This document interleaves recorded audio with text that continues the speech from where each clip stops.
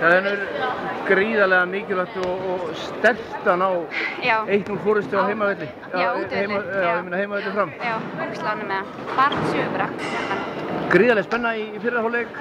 Já. 11-11 staðan þá hefði getað verið, bæði lið hefði getað verið Já, yfir. þetta er svipu lið, við svona, við veist, mér styrknum bara geta dottið að öllum megin, en, við allan að klára um þetta. Við vorum að reyna að taka það saman á hann. Ég held að það var kannski ein, tvær stuður á vellinu sem að þú spilaðir ekki í kvöld. Já. Ég fer í mark næst, Já, það er Lennur ekki í marki. Já.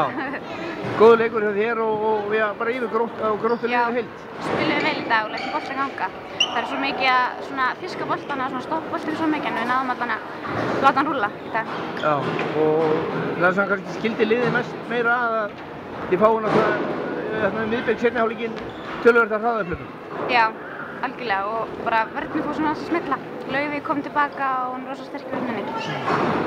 Þú á heimavelli í hraðaflöfum.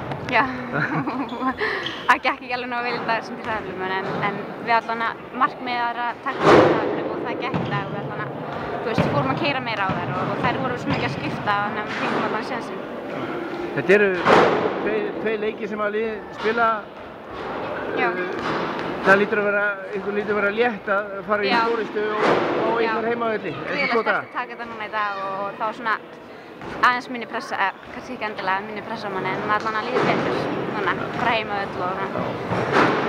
Þið, þessi lið, þeir þekkjast orðið sæmilega, þeir eru að, að spila tölvöld í vettur Já, og og endum líka í deildina og spila við þar eiginlega. Þannig að maður svona, finnst alltaf vera að keppa við fram en, en það er svo skemmtilegt að þetta er svip, svipu leið. Stóð alltaf svo mikið barða. það er dagsformi sem að ræður oft ríkjum. Já, oft. Líka bara, ég meit, öðru hvort verðins hérna og smellir í gang þá, hérna, þá tekur liðið það, tekur verðina. Takk fyrir það.